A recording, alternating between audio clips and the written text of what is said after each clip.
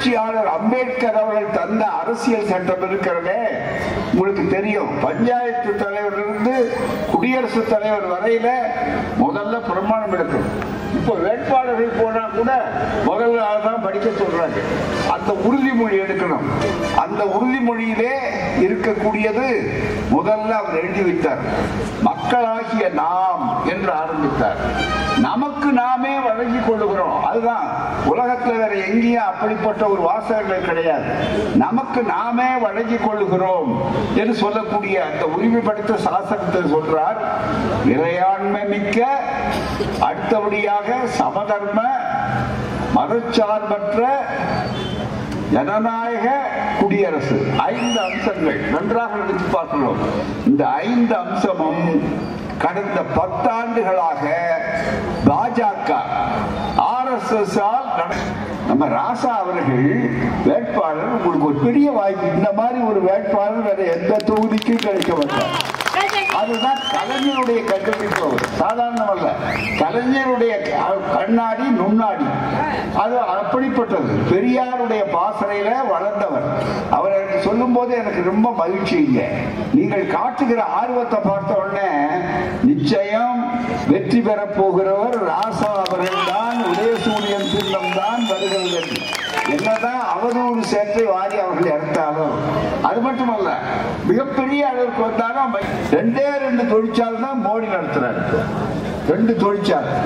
ஒரு ஒரு ஒரு தொழிற்சாலை பொய்யை உற்பத்தி செஞ்சுக்கிட்டே இருக்கிறது. அதுதான் மிக முக்கியம். அது பொய் அது அதுக்கு இருபதாயிரம் பேர் ஆள் சம்பளம் கொடுத்து வச்சிருக்காங்க. வேலை வாய்ப்பு அப்படிதான் உண்டாக்குறாங்க. மிக முக்கியமா. இந்தி படிச்சா வேலை கிடைக்கும். ஏன் இந்தி படிக்கணும்னா வேலை கிடைக்கும் அப்படின்னு நம்ம ஆட்கள் சொல்லிட்டு இருந்தாங்க. பாவம். இந்த இந்தியை ஆதரிக்கிறவங்க. அப்பதான் அவங்கள பார்த்து கேட்டாங்க. யாரு? நம்ம ராசாமா இருக்கிறவங்க மற்றவங்க மேடையில கேட்டாங்க. ஏயா இந்தி படிச்சா வேலை கிடைக்கும் இந்திக்காரனுக்கு வேலை கிடைக்காதனால தமிழ்நாட்டுக்காரன் தானே கொடுக்குறா இங்க வந்து இந்தி படிக்கிற மாநிலம் தானே பீகார் இந்தி படிக்கிற மாநிலம் தானே அங்க அவருக்கு வேலை கிடைக்கிற உத்தரப்பிரதேசம். ஜார்க்கண்ட்ல இருந்து வர்றாங்க. என்ன கேட்டா வந்தாரை வாழ வைக்கும் தமிழ்நாடு. அதுதான் முக்கியம். சாதாரணமாக எல்லாம் இந்தி வார்த்தைகளை ரொம்ப வேகமா சொல்லுவார். இப்படி உட்கார்ந்து அவர் பேசும்போது திடீர்னு சொல்லுவார். சப்கா சாத் சப்கா விகாஸ் திடீர்னு யாரு குசி பார்த்தா என்ன யாருன்னா வளர்ச்சி வளர்ச்சி பாரு. இன்னொரு பக்கம் தான் என்னன்னா அப்படின்னா அச்சே நின்கே அப்படிம்பாரு. என்னையா தன்னா குடுகுடுப்புக்கார வந்து நல்ல காலம் பிறகு நல்ல காலம் பிறக்குதுன்னு பாரு பாருங்க. அது மாதிரி வந்து அச்சே நின்கே அச்சே நீன் அப்படிம்பாரு. இன்னொரு பக்கம் உலகத்துக்கே நாங்க தான் வழிகாட்டி. விஸ்வகுரு அப்படிம்பாரு. விஸ்வகுரு இப்ப எந்த கேட்டாலும் நாம தமிழ்நாட்டுக்காரங்க மட்டுமல்ல வாக்காளர் கேட்கிற கேள்விக்கெல்லாம் மௌன குரு அப்படின்னு சொல்லக்கூடிய அளவுக்கு தான் இருக்காரே தவிர விஸ்வகுரு அங்க வேலையே இல்லை மிக முக்கியமா. பொறுத்தவரையில ஏப்ரல் பத்தொன்பதாம் தேதியே தேர்தல் இருக்கிறது. அந்த நிலையிலே நண்பர்களே நன்றாக நினைத்து பாருங்கள் அப்படிப்பட்ட ஒரு திருப்பத்தை ஏற்படுத்தக்கூடிய இந்த தேர்தல் இதுவரையில நடந்த பதினேழு தேர்தல் தேர்தல்களை விட ஒரு அற்புதமான திருப்பமான ஒரு தேர்தல் இதுதான் நம்முடைய எதிர்கால வாழ்க்கை. நம்முடைய வாழ்க்கை மட்டுமல்ல நம்முடைய பிள்ளைகளுடைய வாழ்க்கையையும் சந்ததியினுடைய வாழ்க்கையையும் நிர்ணயிக்கக்கூடிய ஒரு தேர்தல் அதனாலதான் ரொம்ப மிக முக்கியமான தேர்தல் அந்த தேர்தலிலே நம்முடைய ஆற்றல் மிகு. இதுவரை பதவி என்றாலும் சரி அந்த பதவியை பறிப்பதற்காக எத்தனை சூழ்ச்சியான நீங்கள் அபாண்டங்களை பொய் வழக்குகளை போட்டாலும் அந்த நெருப்பாற்றில் நீந்தி நாங்கள் வெளியே வருவோம் என்று சொல்லக்கூடிய மிக முக்கியமான வேட்பாளராக திராவிட முன்னேற்ற கழகம் திராவிட இயக்கத்தினுடைய பாசனையினுடைய பல்வேறு அறிவாயுதங்களிலே ஒரு ஆயுதமாக முன்னணி இருக்கக்கூடிய ஆயுதமாக என்னுடைய அருமை சகோதரர் வேட்பாளர் வெற்றி வேட்பாளர் தோழர் ஆ ராசா அவர்களே.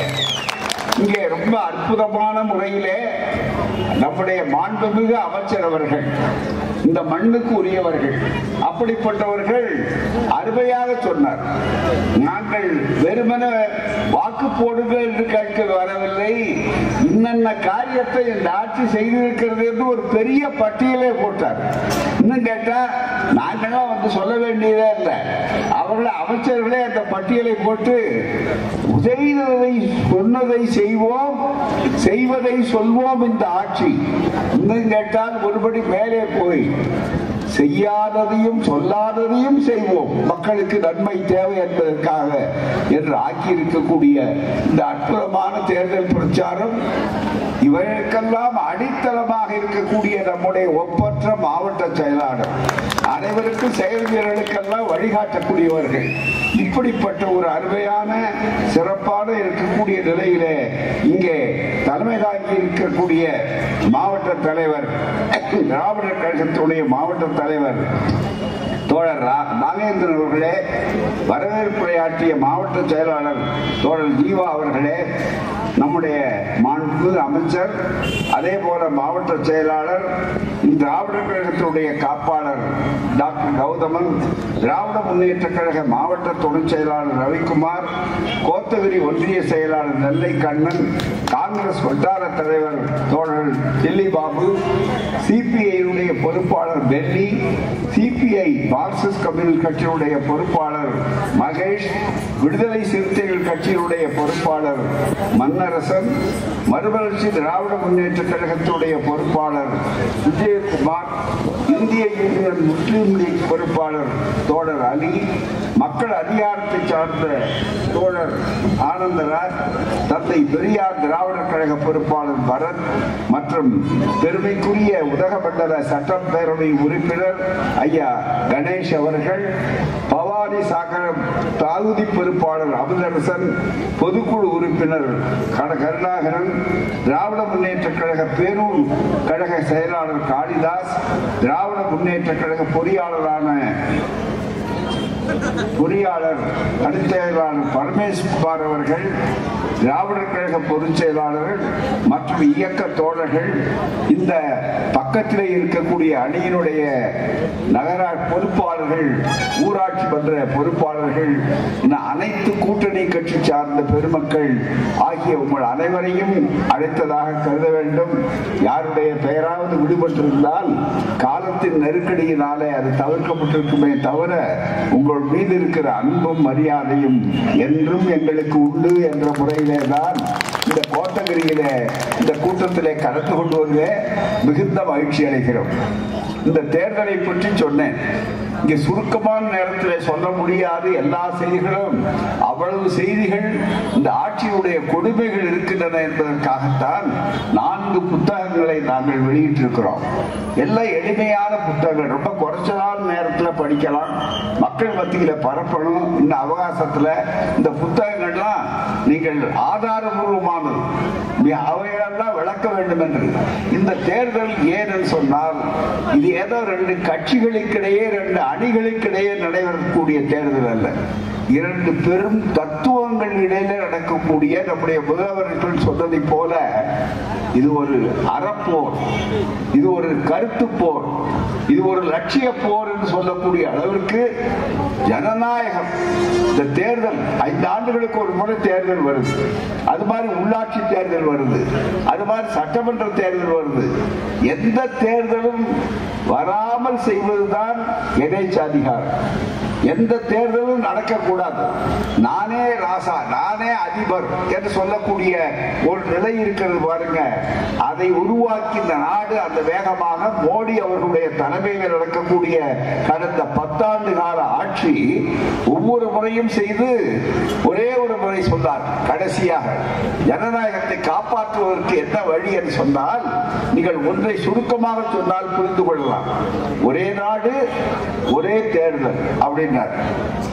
இந்திய நாட்டில் எல்லா மாநிலங்களும் சேர்ந்ததுதான் காஷ்மீர் முதல் கன்னியாகுமரி வரை இந்த நாடு.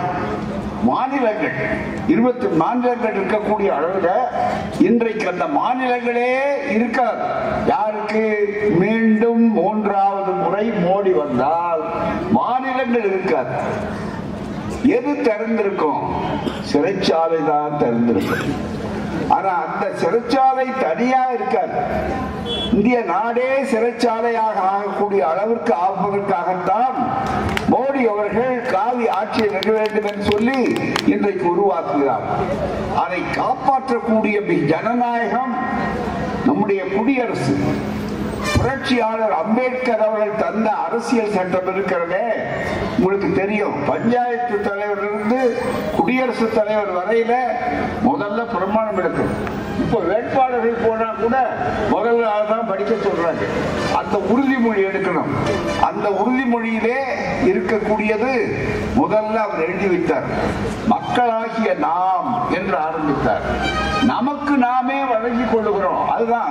உலகத்துல வேற எங்கேயும் அப்படிப்பட்ட ஒரு வாசகங்கள் கிடையாது. நமக்கு நாமே வழங்கிக் கொள்ளுகிறோம் என்று சொல்லக்கூடிய அந்த உரிமைப்படுத்த சாசனத்தை சொல்றார் இறையாண்மை மிக்க அடுத்தபடியாக சமதர்ம மதச்சார்பற்ற ஜனநாயக குடியரசு. ஐந்து அம்சங்கள். நன்றாக நினைத்து பார்க்கிறோம். இந்த ஐந்து அம்சமும் கடந்த பத்தாண்டுகளாக பாஜக ஆர்எஸ்எஸ் ஆல் நடத்தப்படுகிற பாஜக. அதனுடைய தலைவர் மோடி நாங்கள் வந்த உடனே இதை செய்வோம் வளர்ச்சி செய்வோம் வளர்ச்சி செய்வோம் என்றெல்லாம் சொன்னார்கள். மக்கள் இளைஞர்கள் மற்றவர்கள் என்ன நினைத்தார்கள்னா சரி ஐக்கிய முற்போக்கு கூட்டணி திராவிட முன்னேற்ற கழகம் காங்கிரஸ் இவர்கள்லாம் இருந்து இவர்கள்லாம் இருந்த ஐக்கிய முற்போக்கு கூட்டணி. சரி இவர்கள் தான் இருந்து விட்டார்களே பத்து வருடம் இருந்து விட்டார்களே ஏன் ஒரு மாற்றம் வரக்கூடாது? ஏன்னா இளைஞர்கள் இளைஞர்களுக்கு அந்த விளைவுகள் தெரியாது.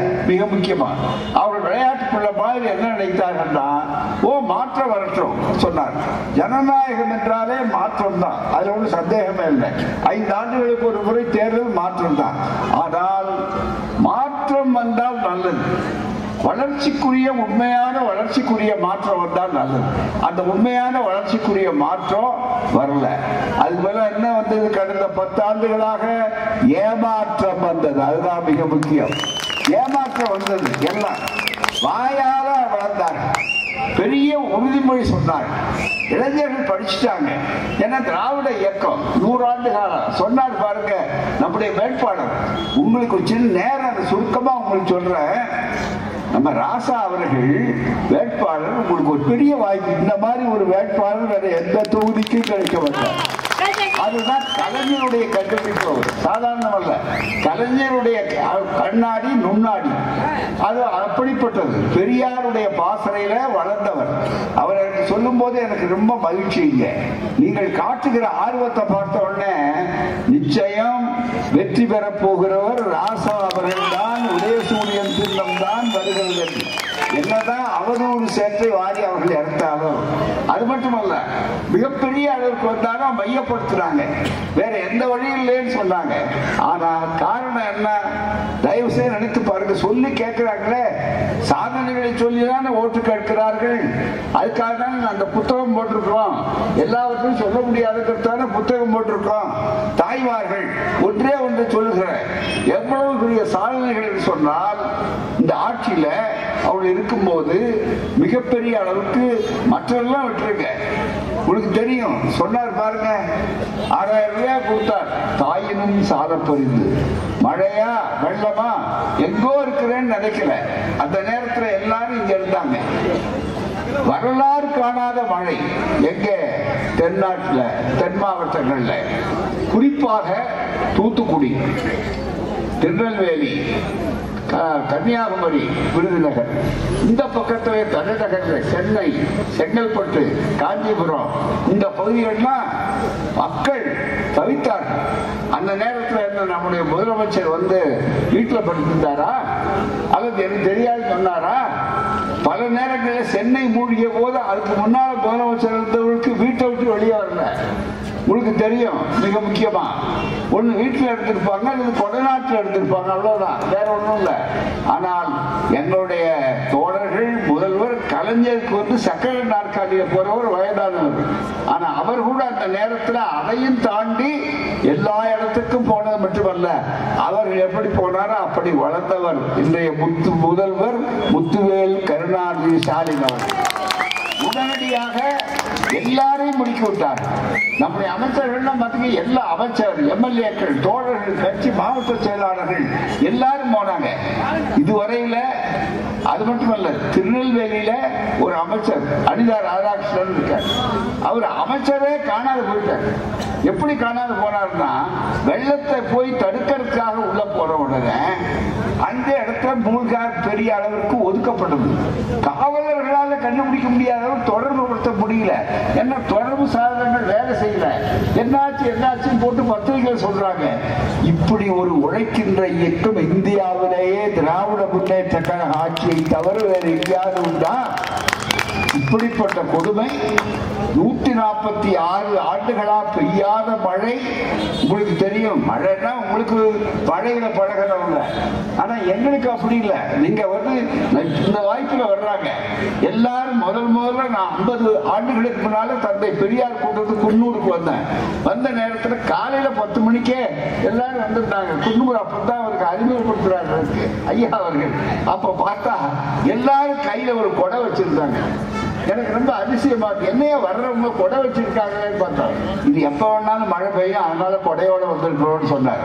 ஆகவே உங்களுக்கு இருக்கு. ஆனா அந்த நேரத்தில் இந்த மழையினால என்ன அவதி வந்தது என்று சொன்னால் அந்த நேரத்திலும் எங்களுடைய அமைச்சர்கள் எல்லாரும் போய் மக்கள் அத்தனை தொடர் சொன்னார்கள் கூட்டணி தோழர்கள் போனார்கள். இது அது மட்டுமல்ல. நிதி கொடுத்தாங்கன்னு சொல்ல பாருங்க. அந்த நிதியை மக்களுக்கு போய் கொடுக்கக்கூடிய அளவிற்கு ஆறாயிரம் ரூபாய் மிகப்பெரிய அளவு சொன்னார்கள் என்று சொல்லக்கூடிய அளவு கொடுத்தாரு அந்த நிதியை எவ்வளவு தரு நெருக்கடி கொடுத்து நமக்கு பணம் வராம ஆக்கி நிவாரணத்துக்காக ஒரு முறை அல்ல ரெண்டு குழு வந்தது ரெண்டு குழுவும் அறிக்கை கொடுத்திருக்கிறாங்க நிபுணர்கள் குழு. ராணுவ அமைச்சர் இங்க வந்தார் நிதி அமைச்சர் வந்தார். நம்முடைய அமைச்சர்கள் எல்லாம் போட்டு கா- பாட்டாங்க. ஆனா யார் காட்டி என்ன பண்றது? எவ்வளவு? மூவாயிரத்தி எழுநூத்தி எழுபது ரூபா. மிகப்பெரிய அளவு கோடி. அத்தனை கோடி தேவை. நடத்தியிருக்கோம் அப்படின்னு சொல்லக்கூடிய அளவிற்கு அந்த மக்களுக்கு வேண்டிய அத்தனையும் செய்துவிட்டு நிதி கேட்டா தேசிய பேரிடர் நிதினு இருக்கு. அதாவது இந்த மாதிரி வந்தால் பணம் கொடுக்கணுங்கிறது தான் அர்த்தம் அது அவருடைய சொந்த பணம் இல்லை மக்கள் பணம். அதை ஒதுக்கி இருக்காங்க ஆனா இன்று வரையில மோடி வர்றார் ஓடி வர்றார் தேடி வர்றார்னு வரக்கூடிய மோடி இருக்க இவங்க மேட்டுப்பாளையம் கூட வரப்போறார். இன்னும் கேட்டீங்கன்னா இதுவரையில தமிழ்நாட்டுக்கு ஆறு முறை வந்துட்டார் இப்ப நாலு முறை வந்து பத்து முறை வர்றாரு. பத்து முறை இல்ல. இன்னும் கேட்டா இங்க வந்து குடி வந்தாலும் கூட தமிழ்நாட்டு மக்கள் அவரை திரும்பி பார்ப்பது கூட யோக்கியம் இல்லை பண்ண மாட்டாங்க முடிவு எடுத்திருக்கிறார் இப்ப அவங்க வந்து மிக முக்கியமா போராடுறது காரணமே காவி கட்சிகள் இந்த கூட்டணி என்னன்னா நோட்டாவை தாண்டது எப்படிங்கிறதுக்காகத்தான் வர்றாங்களே தவிர வெற்றி பெறுவதற்காக வரல. நோட்டான்னா உங்களுக்கு தெரியும். யார் வேணாலும் அது போட்டி வேட்பாளர்கள் அவர் ஒரு ஒரு இடத்த வச்சிருப்பார். அப்படிப்பட்ட ஒரு சூழ்நிலை இருக்கு.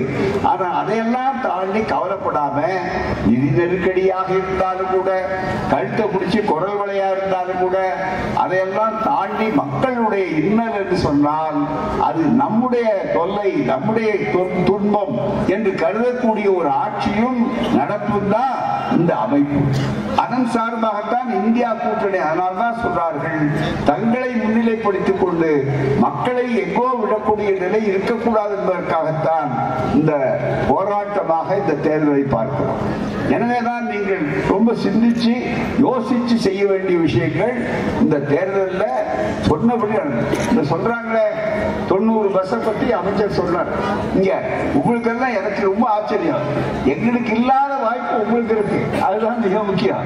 வேற எங்கேயும் இந்த வாய்ப்புகள் சென்னை தலைநகர்ல கூட அந்த திட்டம் முதல்ல வந்தால் கூட இவ்வளவு தனித்தன்மையோட எல்லோருக்கும் கிடைக்கக்கூடிய வாய்ப்புகள் இங்க இல்லை. காரணம் என்னன்னா தட்டி கேட்டு உரிமையோடு கொண்டு வரக்கூடிய அளவிற்கு செயல்படக்கூடிய ஒரு நாடாளுமன்ற அமைச்சர் தோழர்கள் மாவட்ட செயலாளர்கள் செயல்படக்கூடிய நண்பர்கள் இவர்கள் அத்தனை பேர் இருக்காங்க.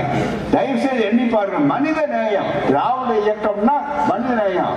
அனைவருக்கும் அனைத்தும். சமூக நீதினா என்ன? ஒரே வார்த்தையில பெரியார் சொன்ன வார்த்தைய பெரியார் பிறந்த நாளாக சமூக நீதி நாளாக அறிவிச்ச நம்முடைய முதல்வர் அந்த வார்த்தையில உறுதிமொழி எடுக்க சொல்றார். அதுல சமூக நீதி ஆகிய அனைவருக்கும் அனைத்தும். அவ்வளவுதான். நம்ம யாருக்கும் வித்தியாசப்படல ஆனா அதே நேரத்துல நீங்கள் மீண்டும் வர வேண்டும் என்று நினைக்கக்கூடியவர்கள் மக்களை பார்த்து என்ன நினைக்கிறீர்கள்? இவர் என்ன மதம்? இவர் என்ன ஜாதி? அவர் என்ன ஜாதி? அவர் நாங்க எத்தனை சதவிகிதம் இருக்கோம்? நாங்க ஒரு குறிப்பிட்ட மதம். நாங்க பெரும்பான்மையான மதம். எண்பது சதவீதம். சிறுபான்மையரா இஸ்லாமியரா கிறிஸ்தவரா அவர்களா நாங்க இருபது சதவிகிதம் எண்பதுக்கு இருபதுக்கும் போட்டின்னு உத்தரப்பிரதேச சண்டையை மூட்டுறாங்க. இன்றைக்கு அதனுடைய விளைவு என்ன ஆயிடுச்சு என்று அடுத்து சொல்றேன். ஆகவே நான் நொந்து போனவர்கள் யார் சங்கடப்படுகிறார் சொன்னார்கள். கொரோனாவில் மூன்று விஷயங்கள் சொன்னார்கள். நம்முடைய நான் நாடாளுமன்ற உறுப்பினர் ராசா அவர்கள் சொன்னார்களே மிக முக்கியமாக மூன்று செய்திகள். கொரோனா காலம் மழை காலம் வெள்ளை காலம் புயல் இது அத்தனையுமே எப்படி நம்முடைய அரசு முதலமைச்சர் நடந்து கொண்டாங்க இந்தியாவிலேயே கொரோனா உச்சக்கட்டத்தில் இருந்து நமக்கெல்லாம் அது நாம மீளுவோம் எத்தனை ஆயிரம் பேர் நாம் இழந்திருக்கிறோம்.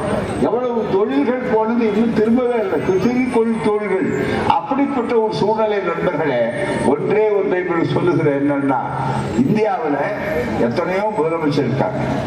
அதை விட நான் தான் சகலமும் என்று சொல்லக்கூடிய நம்முடைய சர்வசக்தி வாய்ந்தவராக கண்ணி கொண்டிருக்கக்கூடிய பிரதமர் மோடி இருக்கார்.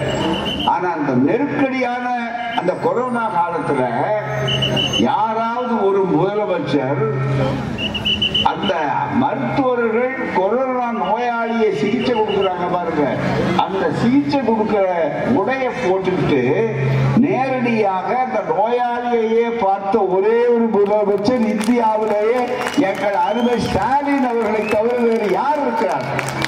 அதே நேரத்தில் இன்றைக்கு மறுபடியும் வர வேண்டும் என்று ஆசைப்படக்கூடிய பிரதமர் மோடி அவர்களே ஓடோடி தமிழ்நாட்டை இங்க எப்படியாவது கைப்பற்ற வேண்டும் என்று வரக்கூடிய பிரதமர் மோடி அவர்களே அவர் என்ன சொன்னார்? இங்க போய் பார்த்தாரா? தீர்வு சொன்னார். வெளிநாட்டுக்காரங்க இன்னும் புத்தகம் எழுதியிருக்காங்க. கையில வச்சிருக்கோம். ஆதாரம் யாரும் இல்லைன்னா சொல்றது தயாரிப்பாங்க உள்நாட்டுக்காரங்கள ஆய்வாளர்கள் எழுதியிருக்காங்க ஒரு கேலி பண்ணி எழுதியிருக்காங்க என்ன எழுதியிருக்காங்க? கொரோனாவா? கை நட்டுங்க போயிடும். எல்லாம் என்ன சொன்னார்? கை நட்டுங்க சொல்லுங்க அப்படின்னாரு. அப்புறம் பூவை போடுங்க. அதுதான் மிக முக்கியம். அப்படின்னு. ஏ எங்கேயாவது வெளிநாட்டுக்காரன் கேள்வி பண்றான் ஏயா நோய் வந்ததுன்னா இந்த கை தட்டுனா போயிடுமா? கை தட்டுனா போகுமா? ஒன்றும் ஆகாது. அது நடத்தினாரு இப்படி ஒரு முதலமைச்சர் நான் எழுதுவது வேடிக்கையா சொல்ல நண்பர்களே. உலக புகழ் பெற்று இருக்கக்கூடிய ஒரு ஆய்வாளர் பிரான்ஸ் நாட்டில் இருந்த ஆய்வாளர் லண்டன்ல இருந்து இவ்வளவு பெரிய புத்தகம் மோடியினுடைய ஆட்சியை பற்றி எழுதியிருக்கிறார். அந்த புத்தகத்துல சொல்றார். இது மாதிரி வேடிக்கையா இருந்தது அப்படின்னு. அதை விட இன்றைய நிதியமைச்சரா இருக்காங்க பாருங்க நிர்மலா சீதாராமன். அந்த அம்மையாருடைய கணவர் பறக்காரா என்று பிரபாகர் ராவன் பேர்.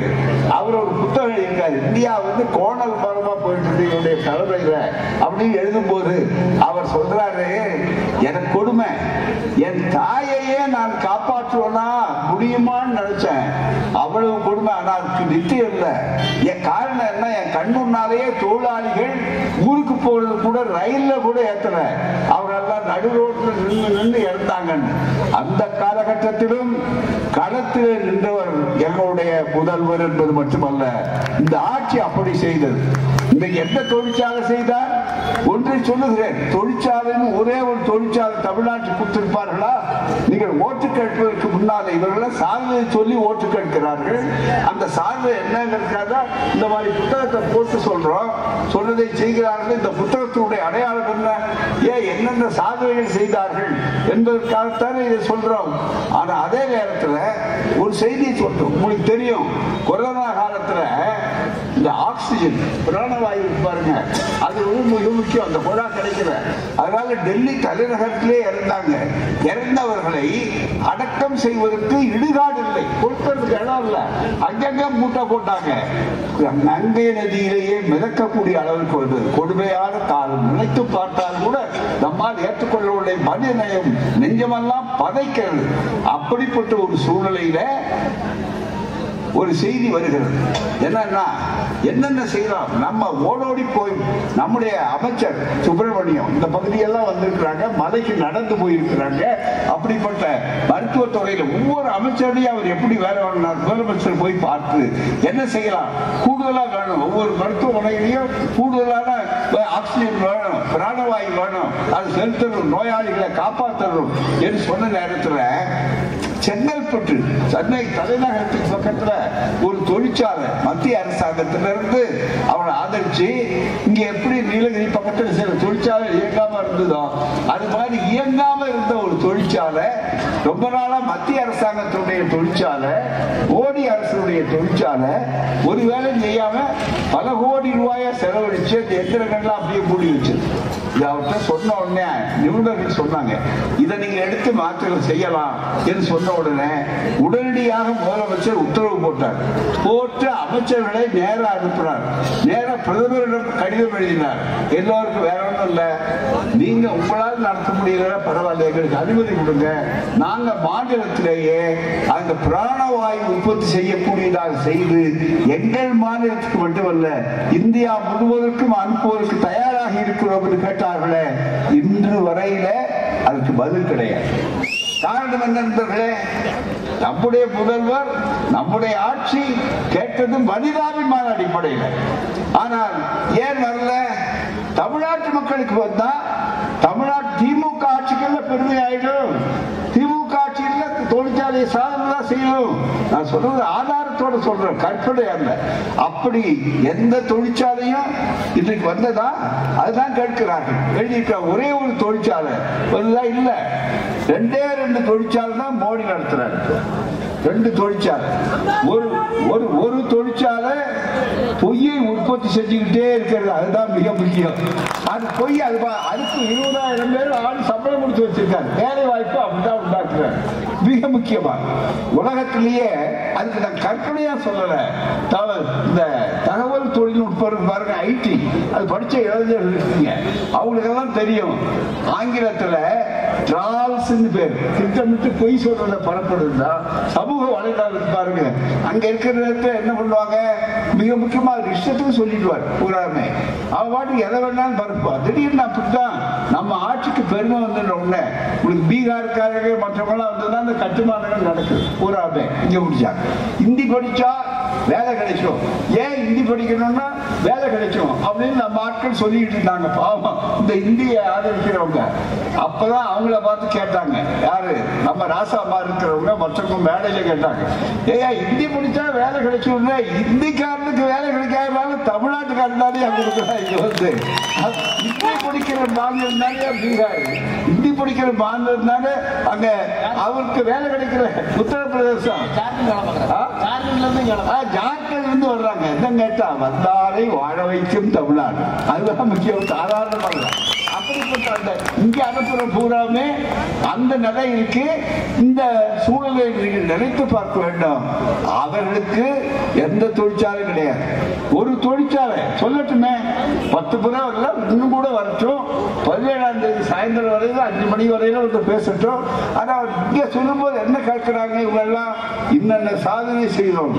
ஆனா இப்ப நாங்க சாதனையை மட்டும் சொல்ல வரல. மோடி ஆட்சியினுடைய பத்தாண்டு கால வேதனையும் எடுத்து சொல்லி இவர்கள் மீண்டும் வந்தால் இந்த நாடு என்னாகும் என்று சொல்வதற்காகத்தான் வந்திருக்கிறோம். ஆகவே நீங்கள் நினைத்து பார்க்கணும். ஒன்றை அது மட்டுமல்ல. வா வாக்குறுதி என்ன கொடுத்தாரு? சுருக்கமா உங்களுக்கு சொல்றேன். ஐந்து வாக்குறுதி கொடுத்தார் முதல்ல. இன்னும் கேட்டா அதுவும் இந்தியிலே தான் மிக முக்கியமா. எல்லாம் இந்தி வார்த்தைகளை ரொம்ப வேகமா சொல்லுவார். இப்படி உட்கார்ந்து அவர் பேசும்போது திடீர்னு சொல்லுவார். சப்கா சாத் சப்கா விகாஸ் திடீர்னு யாரு குறிச்சு பார்த்தா என்ன யாருன்னா வளர்ச்சி வளர்ச்சி பாரு.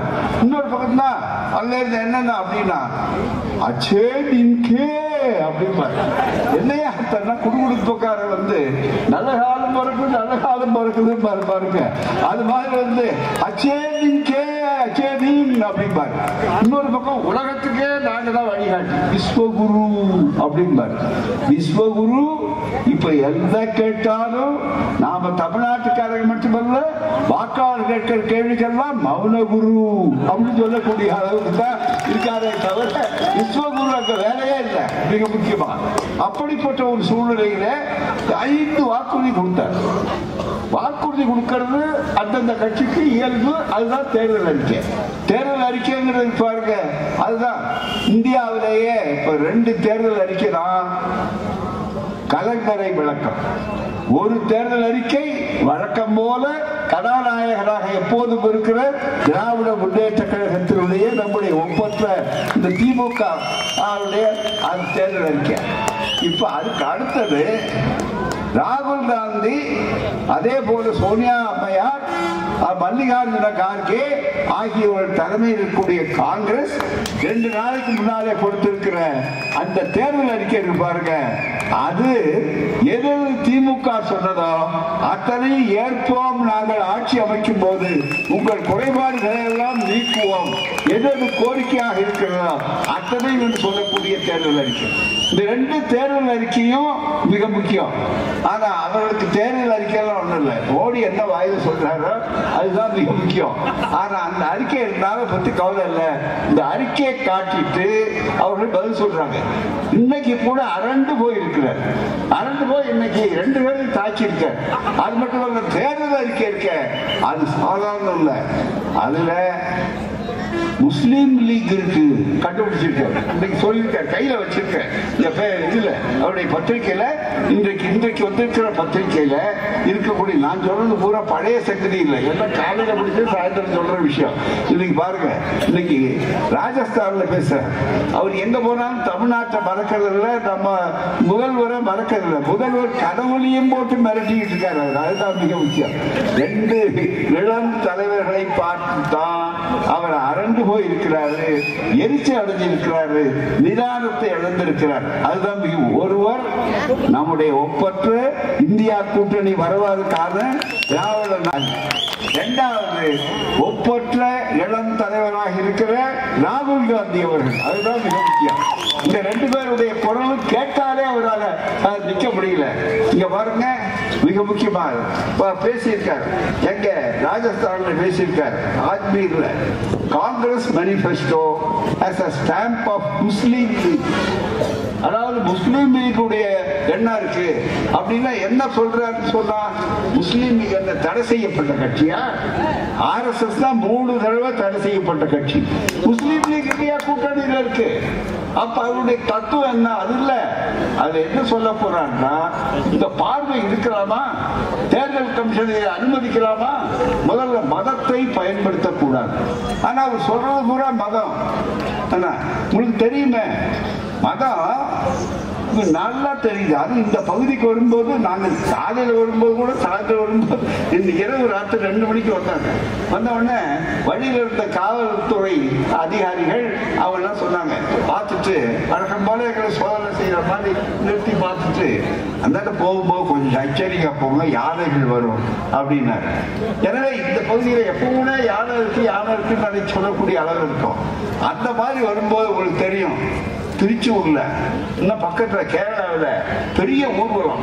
அதுல யானை வச்சு தான் உங்களுக்கு கேரளாவில் எல்லாம் பண்ணுவாங்க. உங்களுக்கு தெரியாத விஷயம் இல்லை. வந்தபோது யானை போயிட்டே இருக்கு திடீர்னு அதுக்கு மதம் பிடிச்ச உடனே அந்த பாகனையே தூக்கி அடிச்சதை நம்ம அந்த கண்காட்சி அந்த தொலைக்காட்சியில பார்த்தோம். வேதனையா இருக்குது பூராமே. பழகன யானைய பாகனை தூக்கி அடிக்கும்.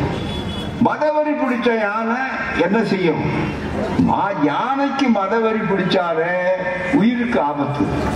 ஆனா ஒரு ஆட்சிக்கே மதவரி பிடிச்சா அது மக்களுக்கே பெரிய ஆபத்து.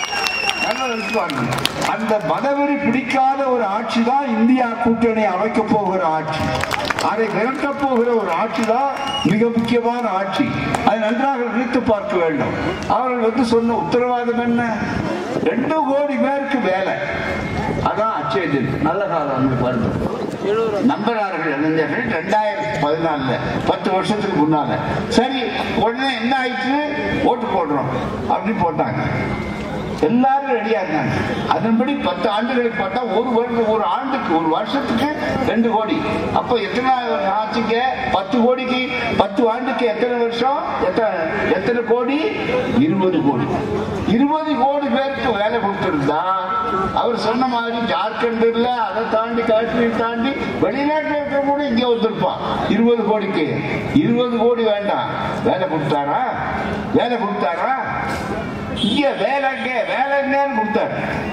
ஆனா இங்க நிக்கிறார் பாருங்க அன்புக்குரிய நம்முடைய சகோதரர்.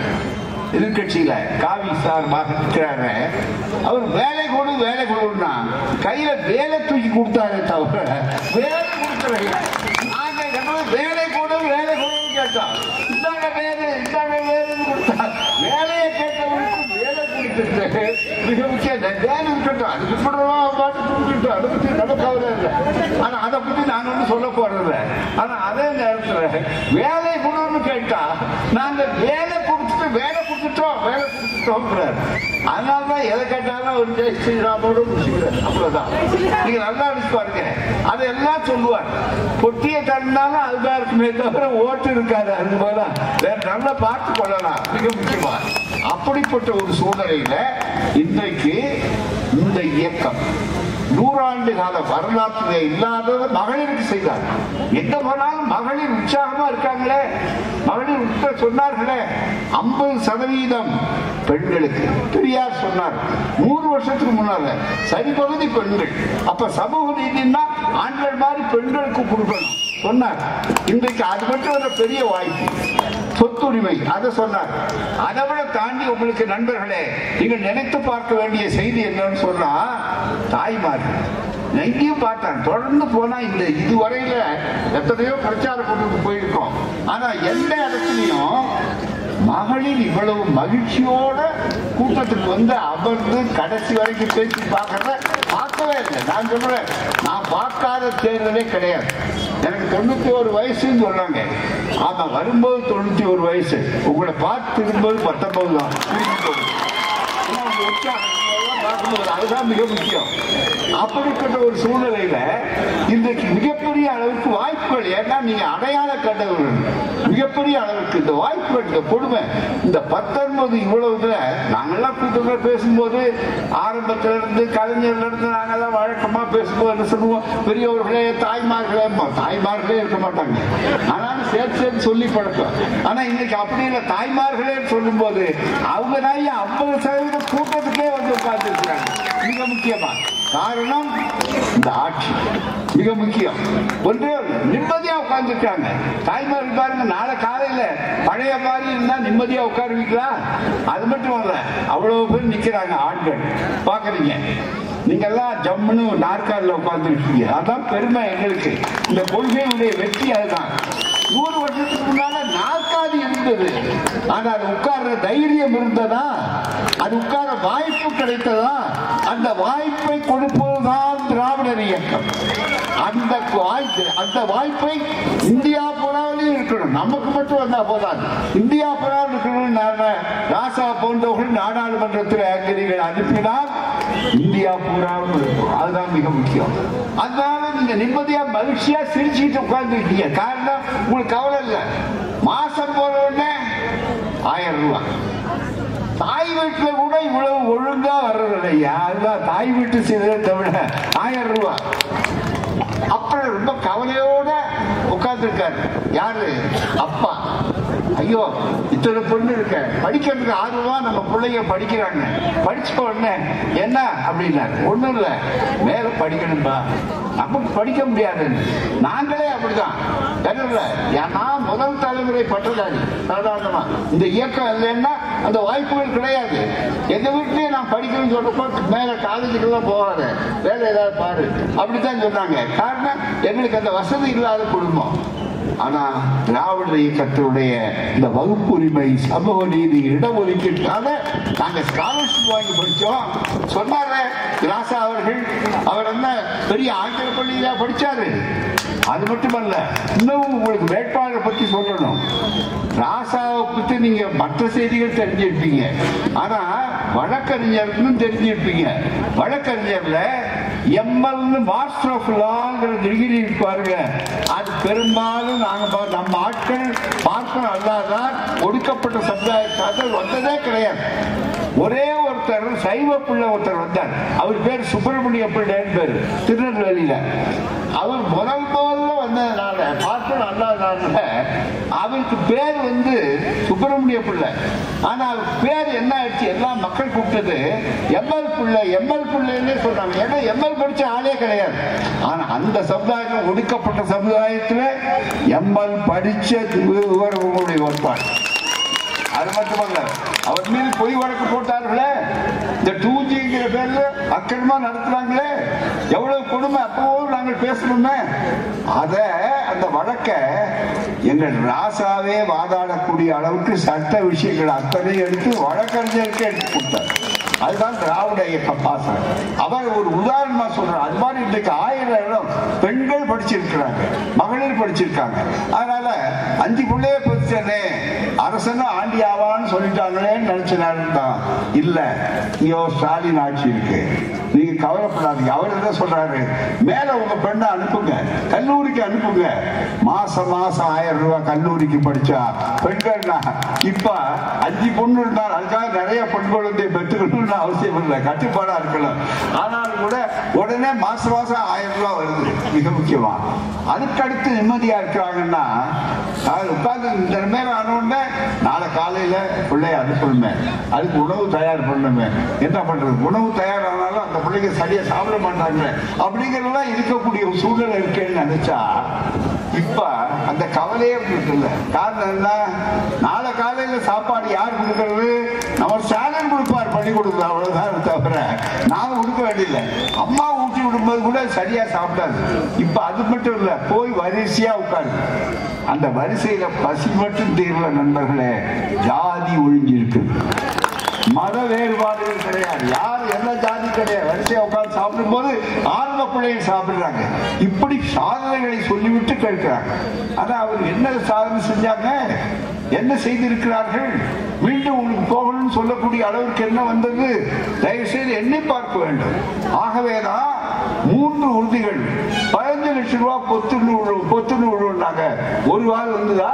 அதை விட நேற்று ரெண்டு நாட்கள் முன்னால் ஒவ்வொரு நாளும் அறிவார்ந்த லட்சக்கணக்கான மக்களை சந்திக்கக்கூடிய நம்முடைய முதல்வர் ஒரு கருத்தை சொல்லியிருக்கார்.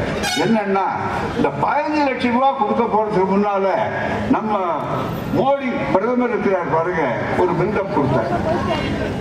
ரூபா வரப்போகுது. அதுக்கு முன்னால என்ன செய்யணும் தெரியுமா நீங்க? நீங்க தவறாம கிராமத்து மக்களை பார்த்து சொன்னார் தாய்மார்களை நீங்க எல்லாம் வங்கி கணக்கு ஆரம்பிச்சிருக்க போய் அப்படின்னாங்க. அவங்களுக்கு வங்கியும் தெரியாது கணக்கும் தெரியாது ஒரு அண்ணன் ஆனாலும் சொல்லிட்டாரு காரணம் என்ன? உங்களுக்கு பதினஞ்சு லட்சம் ரூபாய் பொத்து பொத்துன்னு வரப்போகுது. இப்போ கணக்கு வங்கி கணக்கு இருந்தாதான் வங்கியில போடுவோம் நாங்க. என்ன செய்யணும்னு பார்த்தாங்க பாருங்க. சுருக்கு போட்டு வச்சிருப்பாங்க. நம்ம தாய்மார் இந்த பகுதியே இருக்கு உங்களுக்கு. இந்த படத்தை எல்லாம் சுருக்கு பை. இந்த சுருக்கு பை அதுலன்னா சில நேரங்கள்ல பானையில் வச்சிருப்பாங்க. எங்க பக்கத்துல எல்லாம் பானையில உள்ள. ஏன்னா வீட்டுக்காரனுக்கு தெரிஞ்சா அவதான் பட்டு வச்சு போடுவாரு. பானையில் அரிசி ஒரு சேர்த்து வச்சிருப்பாங்க. அதெல்லாம் தொடவி எடுத்து அதுக்கப்புறம் பாத்தீங்கன்னா இதை எடுத்து எல்லாத்தையும் சேர்ந்து சுருக்கில் எடுத்து கொண்டு போய் எவ்வளவு மினிமம் டெபாசிட் குறைஞ்சபட்சம் பணம் போட்டு கணக்கு ஆரம்பிக்கணும் பாருங்க. அது ஆரம்பிக்கணும் போட்டு இதெல்லாம் தொடவி தடாவி எல்லாம் பண்ணிட்டு பாஞ்சு லட்ச ரூபா வரும் வரும்னா வரும். வடிவேல் சொன்ன வசனம் தான். வரும் வரும் வரும். அவ்வளவுதான். எல்லாம் மகளிருக்கு இடஒதுக்கீடு மசோதாவா? நாங்க நிறைவேற்றிட்டோம். வரும். அவ்வளவுதான். வேற ஒண்ணுமே இல்லை. மிக முக்கியமா இருக்கக்கூடிய அளவுக்கு வாய்ப்பை உண்டாக்கி இவ்வளவு கொடுமை நடந்த பாடு இந்த இயக்கம் வந்ததா? அதே நேரத்தில் ஒவ்வொரு முறையும் ஆயிரம் ரூபாய் கொடுக்குறாங்களே. வெள்ள நிவாரணம் வந்ததே. இந்த நிதி வரக்கூடாதுங்கிறது தானே அந்த காரியங்கள் செய்யறாங்க ஆகவே தான் இந்த சாதனையை சொல்லி கேட்கிறோம். ஆனா அவர் வந்து மிக முக்கியமான கொடுமை இருக்காங்க. கடைசி ரொம்ப நேரம் ஆச்சு. உங்களுக்கு தெரியும். முடிவு பண்ணிருக்கீங்க ஒன்னே ஒண்ணு சொல்றேன். நீங்க நினைத்து பார்க்கணும். எவ்வளவு பெரிய ஊழல்னா இன்னைக்கு ஏன் மற்ற செய்திகளை பேசுறாங்க? ஏன் இவ்வளவு ஆத்திரம்? என்று சொன்னால் ஊழலை ஒழிப்போம். அவர் சொன்னார். உடல் ஒழிப்போம். உடலை ஒழிக்கிறதுக்காக தான் நாங்கள் வந்திருக்கிறோம் என்று சொன்னார். ஆனால் இன்றைக்கு நடந்ததுலேயே மிகப்பெரிய அளவுக்கு ஒரு சின்ன செய்தி உங்களுக்கு சொல்றேன். அரசாங்கம் எங்களுடைய அருமை சகோதரர் ராசா அவர்கள் மீது பொய் வழக்கு போட்டியர்கள் அது பொய்னு தீர்ப்பு வாங்கிட்டு இங்க உட்கார்ந்துருக்கிறார். அந்த நேரத்திலேயே நாங்கள் சுட்டி காட்டி மிக முக்கியமா. உண்மை இல்லை ஏன்னா உண்மை கடைசி வரை நிற்கும் மிக முக்கியமா. இந்த பாருங்க. அவர்கள் வந்து அரசாங்கத்துடைய தணிக்கையாளர். அந்த தணிக்கை எழுதக்கூடியதுல மோடி ஆட்சியுடைய தணிக்கை குழு சிஏஜி சொல்லக்கூடிய அந்த தணிக்கையாளர் என்ன எழுதியிருக்கிறார் சொன்னா ஏழு புள்ளி அஞ்சு லட்சம் கோடி மெகா ஊழல் ஏழு புள்ளி அஞ்சு லட்சம் கோடி. இது வந்து நடந்தது. ஆனா இவர் மீது சொல்லப்பட்டு இன்னைக்கும் வெட்கம் இல்லாம மறுபடியும் சொல்லுவாங்க. வந்தா ஆனா தூஞ்சி போதும். இருக்கிறவர்கள் சொல்றாரு தூஞ்சி போதும் நீங்க சொல்றீங்களே உங்களுக்கு தைரியம் இருந்தா ஆதாரத்தோட உங்களுக்கு பேச முடியுமா? அந்த தீர்ப்பு என்ன எழுதினாங்கன்னு தெரியுமா? எத்தனை சிபிஐ சிபிஐ நாங்கள் வாய்தா கொடுக்கிறோம் புதிய தரவுகள் கொண்டு வர்றோம். புதிய ஆதாரங்களை உங்களுக்கு சொல்றோம் என்று சொன்ன உடனே அதை விசாரித்த நீதிபதி சைனின்னு நினைக்கிற பேரு. அவர் என்ன சொல்லி கடைசியில தீர்ப்பு எழுதியிருக்கிறார்? நானும் வழக்கறிஞர். சட்டபூர்வமா பேசுறோம். இங்க வழக்கறிஞர்கள் இருப்பார்கள். நிறைய இருக்கிறார்கள் அப்படிப்பட்ட அந்த தீர்ப்பு தொடங்கும் போதே அவர் தீர்ப்பில் அவர் அத்தனை பேரையும் விடுதலை செய்தார். கனிமொழியவர்களானாலும் கூட இருந்தவர்கள் அத்தனை பேரையும் விடுதலை செய்தார். ஆதாரம் இல்லை. இந்த குற்றச்சாட்டுக்கு ஆதாரம் இல்லை என்று சொன்னார்கள். அப்படி வரும்போது இந்த தீர்ப்பு ஆரம்பிக்கும் போது நண்பர்களே எப்படி ஆரம்பிக்கிறார்கள் தெரியுமா அந்த இதில்? மிக முக்கியமா. நீங்கள் ஆதாரம் கொடுப்போம் ஆதாரம் கொடுப்போம் என்று கேட்டு சொல்ற போதெல்லாம் நான் வாய்தா கொடுத்து கொண்டே இருந்தேன். காத்திருந்தேன் காத்திருந்தேன் காலமெல்லாம் காத்திருந்தேன். அப்படின்னு சொல்ற மாதிரி ஒரு ஆதாரத்தை கூட கடைசியில சொல்லல. என்று சொல்லித்தான் அதை ஆக்கினாங்க. ஆனா இன்றைக்கு என்ன நிலை? உண்மையாகவே நடந்தது சொன்னால் இதோ ஏழு லட்சம் கோடிங்க ஒரு சின்ன உதாரணம். இந்த ரோடு போடுறாங்க பாருங்க. அந்த ரோடு போடுறதுக்கு ஒரு கிலோமீட்டர் சாலை அமைக்க பதினெட்டு கோடின்னு ஒதுக்கியிருக்காங்க நியாயமா. ஆனா பதினெட்டு கோடிக்கு பதிலா இருநூத்தி ஐம்பது கோடி ஒதுக்கு செலவு. இதை சுட்டியிருக்காரு. பதினெட்டு கோடி செலவு பண்ண வேண்டிய இடத்துல இருநூத்தி ஐம்பது கோடி. இதை யார் சொல்றது? நாங்கள் சொல்லவில்லை. முதல்வர் சொல்லவில்லை. கூட்டணி கட்சி இந்தியா கூட்டணிக்காரர் சொல்லவில்லை. அரசாங்கத்தினுடைய தணிக்கை அறிக்கையிலிருந்து எடுத்து சொல்கிறார் இது மாதிரி ஒரு ஊழல். அதை விட ரொம்ப மிக முக்கியமான அடிப்படை என்னன்னா உங்களுக்கு சொல்ல வேண்டும். இந்த தேர்தல் பத்திரம் அப்படின்னு சொல்லக்கூடிய அளவுக்கு வந்திருக்கக்கூடிய இந்த தேர்தல் பத்திர ஊழல் இருக்க சாதாரணமானதல்ல. மிகப்பெரிய அளவுக்கு தேர்தல் பத்திரம் ஊழல் அதெல்லாம் ஏன்னா பேசுறது ரொம்ப விளக்கமா இருக்கணும் நேரம் இல்லை. இதுவே நிறைய நேரம் ஆயிருக்கு ஆனா நல்ல வாய்ப்பா எனக்கு இன்னைக்கு ஒரே ஒரு கூட்டம் தான். அதனால இன்னொரு பேசுறேன். மக்கள் அதிகமாயிருக்கு. உங்களுக்கு சொல்றேன். இதை பாருங்க. நாமெல்லாம் கவலைப்படுறது தேர்தல் நடக்கணும்னு பார்க்கணும். வந்தது.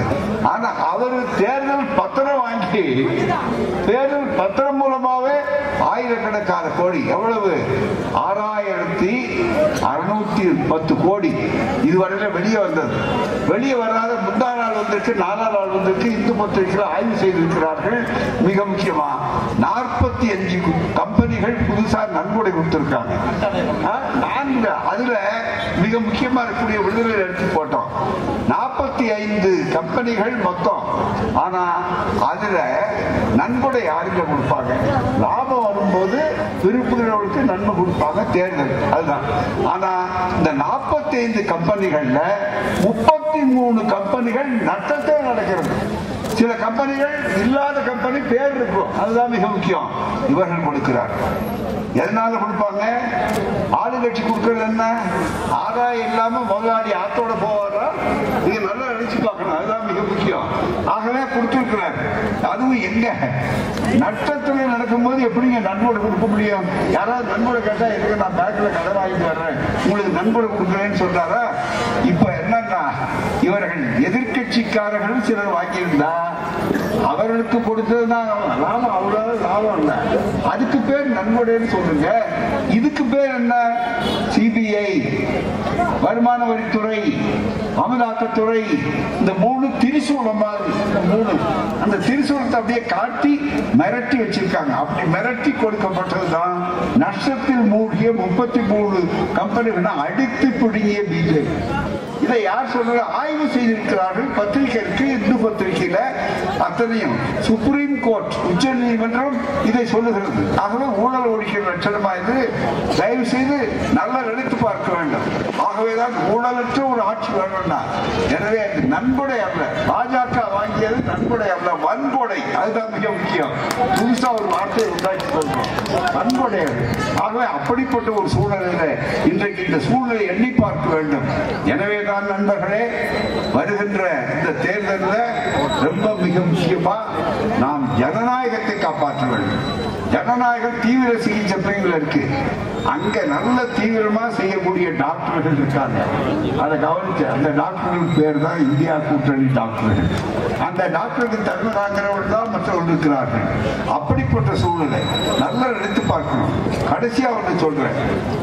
ஒரே ஒரு கற்பனை போட்டு ஒன்று போட்டு ஏழு போட்டு நம்ம அவர் வேட்பாளர் ராசா மீது குற்றம் சொல்லிடுற பூஜ்ஜியம் பூஜ்ஜியம் பூஜ்ஜியம் போடுகிற அதுக்கு பிறகு ரெண்டு ஜி. பேச வேண்டாம் ஏன்னா மேடையில திரும்ப திரும்ப பேசக்கூடாது. அவர்களுக்காக நான் சொல்றேன் அதுக்காக. இங்க அதுக்கு முன்னால இப்ப அஞ்சு ஜி நீங்க எல்லாம் செல்போன் வச்சிருந்தீங்கன்னா அஞ்சு ஜி ரொம்ப வேகம். ஏன்னா இவர் காலத்துல ரெண்டு அங்க. இப்ப அஞ்சு அதை விட பலர் உள்ளதா இருக்கு. ஆனா இது எவ்வளவு வாங்கியிருக்கிறாங்க? அதை விட வேகமானது. இப்போ வாங்கியிருக்கிறது ஒரு லட்சத்தி அது எழுபத்தாயிரம் கோடி தான் வாங்கியிருக்கிறாங்க. அதுவும் முதலாளிகளுக்கு வசதியாக கொடுத்துருக்குறாங்க.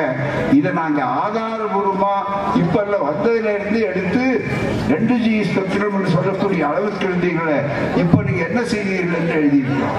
எனவே ஆதாரபூர்வமாக இன்றைக்கு போலித்தனமான இருக்கக்கூடிய ஒரு வாய்ப்பை இங்க செய்திருக்கிறேன் சாதாரணமா.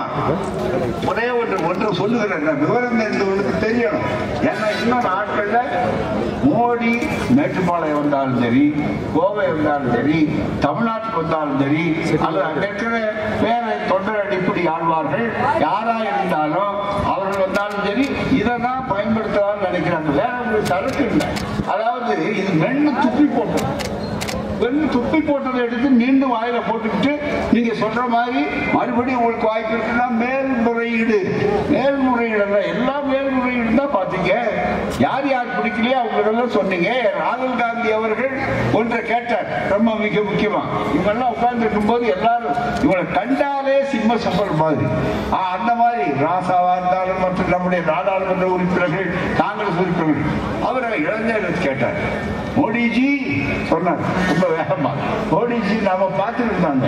நீங்க எத்தனை முறை நீங்க தமிழ்நாட்டுக்கு போனாலும் தமிழ்நாட்டை பிடிக்கலாம்னு நீங்க நினைக்காதீங்க. ஒருபோதும் பிஜேபி வராது. அது பெரியார் மண் சமூக நீதி மன்னன் கேட்டார் பாருங்க. அதுக்கு பதில் சொல்லாம நேரம் முன்னாடி இங்கேயோ அவர் பேசினார்கள் வச்சுக்கொண்டு ஒழுக்கமே வைத்துக்கொண்டு ஒரு பொய் வழக்கு அவர் மேலேயும் போட்டு அதை பெருசாக்கி மூன்று ஆண்டு தண்டனையில் ஆக்கி அடுத்த நிமிடத்திலேயே அவர் நீக்கணும். அவர் வீட்டை எல்லாம் காலி பண்ணணும். இப்படின்னு சொன்னீங்க. கடைசி நேரத்தில் உச்ச நீதிமன்றம் நியாயம் கொடுத்தது அதனாலதான் தடை செய்தது. மீண்டும் அதே மோடி முன்னால இதோ வருகிறோம் சொல்லக்கூடிய அளவுக்கு வந்தாங்க. ஜனநாயகம் என்ன? இவங்க எல்லாம் கேள்வி கேட்டாங்க. அதுக்காக நூத்தி நாற்பத்தி ஆறு பேரை நூத்தி நாற்பத்தி ஆறு அவ்வளவு பேரை இந்த தொடர் முழுதும் இல்லை. அடுத்த தொடர் வருகிற வரையில என்னையா அர்த்தம்? இது ஜனநாயகமா காட்டு ஆட்சியா நினைத்து பார்க்க வேண்டும். மிகப்பெரிய அளவுக்கு ஆகவே தான் நண்பர்களே எங்களுக்காக உங்களுக்காக உங்கள் பிள்ளைகளுக்காக ஜனநாயகத்துக்காக. எங்கள் முதல்வர் எங்கள் முதல்வர் சொல்வதை சிற்றுண்டியை பார்த்து கேரளா நாங்க பின்பற்றணும்னு சொல்றோம் அதே நேரத்தில் உங்களை பார்த்து ஜன ஜெர்மனி அமெரிக்கா மற்ற எல்லா இடங்கள்லையும் ஜனநாயகத்தை இப்படி கொண்டு சூழல் இருக்கிறது என்று கண்டிக்கிறார்கள். உங்களால் பதில் சொல்ல முடியவில்லை இந்த சூழ்நிலை. எனவே தான் இதை சொல்லுகிறோம். மிக முக்கியமாக ஆதாரபூர்வமாக ஊழல் எந்த ரூபத்தில் இருந்தாலும் நாங்கள் செய்ய தடுப்பு தடுப்பதை தடுக்க மாட்டோம். ஆனால் நீங்கள் செய்வதுதான் ஊழலுங்கிறதுக்கு அடையாளம் தான். இந்த மிக முக்கியமான தேர்தல் பத்திரம். இதை சொல்வது நாங்கள் அல்ல. உச்ச நீதிமன்றம் இதை காதை பிடித்து திருகி கொண்டு வந்தனால தான் இந்த சூழ்நிலை. எனவேதான் நீங்கள் இந்த பொய் நன்மை குத்தி பொம்பையிடலாம் என்று நினைக்காதீர்கள். அதுதான் மிக முக்கியம். பொய்யை நடத்தி கொண்டு நடத்த முடியாதுன்னு நினைத்துக் கொள்ளுங்கள். அதோட இன்னொரு தொழிற்சாலை இந்த பொய் தொழிற்சாலையோட இன்னொரு தொழிற்சாலை ஒன்று வச்சிருக்காங்க அது என்னன்னா சுத்திகரிப்பு தொழிற்சாலை. கங்காஜலம் மாதிரி. என்னன்னா யார் யார் அவர் கட்சியில நடத்தணும் எதிர்கட்சியை நடத்தணும் கெஜ்ரிவாலா இருந்தாலும் இந்த கட்சியில சேர்ந்துட்டா பிஜேபி கொண்டு சேர்ந்துட்டா உடனே அவர் தூய்மை ஆயிட்டார். வழக்கெல்லாம் கொஞ்சம் ஆயிடும் ஆகவே இந்த வாஷிங் மிஷின் வாஷிங் மிஷின் அவங்க சொல்றாங்க. வாஷிங் மிஷின் சின்னது. ஆனா இவர் ஒரு பெரிய ஆயில் ரிஃபைனரி மாதிரி தூய்மையாக்கிறார் சொல்லக்கூடிய அளவுக்கு இருக்கார் ஆகவே தான் வருகின்ற ஜனதா தேர்தல் என்பது ரொம்ப முக்கியமானது. நம்முடைய வாழ்க்கையை நிர்ணயிக்கிறது மட்டுமல்ல வருங்கால சந்தையினுடைய வாழ்க்கையில் நிர்ணயிப்பது ஜனநாயகமா சர்வாதிகாரமா? அனைவருக்கும் அனைத்துமா அல்லது சில பேருக்குமா அல்லது இந்த ஆட்சி அதானிக்கும் அம்பானிக்கும் டாட்டாவுக்கும் பிர்லாவுக்கும் மட்டுமா? அல்லது ஏழை எளிய மக்களுக்கா? கேட்டா கடைசியில அவர் சொல்வார் டிராமா நூத்தி நாற்பது கோடி மக்களும் என் குடும்பம். நூத்தி நாற்பது மக்களும் உங்கள் குடும்பமா இருக்கிற குடும்பம்னா நாங்க வரவேற்கிறோம். ஆனா உண்மையா இருந்தாருன்னா வடகிழக்கு மாநிலங்கள்ல மணிப்பூர். எங்களுடைய பழங்குடி சகோதரிகள் அந்த சகோதரிகளுடைய உடையை உருவிட்டு சொல்வதற்கு தாய்மார்கள் மன்னிக்க வேண்டும். சேவையை அறிவித்து விட்டு நிர்வாணப்படுத்தி ஓட்டுகிறீர்களே சங்கிகள். இந்த ஆட்சி அந்த நேரத்தில் ஒரு வார்த்தை பிரதமர் கண்டித்தது உண்டா? மணிப்பூர் இந்தியாவில் இருக்கிறதா அல்லது வெளிநாட்டில் இருக்கிறதா? அது மாதிரி இங்க நம்முடைய தென்னாட்டுக்கு வந்து தமிழ்நாட்டுக்கு வந்து ஒரு ஆறுதல் வார்த்தை பணம் கொடுக்கல. அது வேற விஷயம். ஆனா ஒரு ஆறுதல் வார்த்தையா சொல்லி இருக்கிறாரா இதுக்கெல்லாம் தீர்வு நாள் தான் ஏப்ரல் பத்தொன்பதாம் தேதி. ஆகவேதான் நம்முடைய அருமை வேட்பாளர் தாசா அவர்களுடைய இங்க உள்ள போங்க. உள்ள போன உடனே வந்து பட்ட அங்க எந்திரம் இருக்கும். அந்த எந்திரத்துல பாருங்க ஆர் ஆசா. இருக்கும். தெளிவா ஆ? ஒண்ணு. எந்த இடத்துலயும் ஒண்ணு வெற்றி பெற போறது ஒண்ணுதான். அது ஒரு சந்தேகமே இல்லை. ஆகவே இருக்கும். அங்க போய் நிதானமா தாய்மார்கள் சகோதரிகள்லாம் என்ன பண்ணணும்னு சொல்றா? கொஞ்சம் நிதானிச்சு அவசரப்படாம ஆ ராசா முதல்ல இருக்கு. அப்படின்னு உதயசூரியன் அப்படின்னு சொல்லும்போது பொத்தான அந்த விரல்ல விரல்ல கொஞ்சம் அந்த பொத்தான நல்லா அழுத்தணும். உடனே உடனே விரலை அழுத்தக்கூடாது நல்லா அழுத்தினாதான் பச்சை விளக்கு எரியும். அந்த பச்சை விளக்கு எரிந்தால் அங்க மட்டும் விளக்கெரியாது. உங்கள் வீட்டில் விளக்கெரியும் நாட்டில் விளக்கெரியும் எங்கும் ஒளிமயமாக இருக்கும் இருட்டு விளைபெறும். வெற்றி நமதே. பெறவே புத்தீர் வியாபாரங்களுடன் வியாபாராதீர்கள். நிச்சயமாக ஜூன் ஜூன் மூணாம் தேதி கலைஞருடைய பிறந்த நாள். நூற்றாண்டு விழா நினைவு நாள். கலைஞருக்கு பரிசாக இந்த மக்கள் இந்த நாடு இந்தியா கொடுக்கிறது என்பதற்கு அடையாளமாகத்தான் ஜூன் ஐந்தாம் தேதி மீண்டும் வளரப்போவது இந்தியா கூட்டணி தான் என்பதற்காக ஒரே உதயசூரியன் உங்கள் வீட்டுக்கு வந்து உங்கள் தொண்டராக தோழனாக இருப்போர் எங்கள் சகோதரர் தாசா அவர்கள். மறவாதீர். உதய சின்னம் உதயசூரியன் சின்னம் நன்றி வணக்கம்.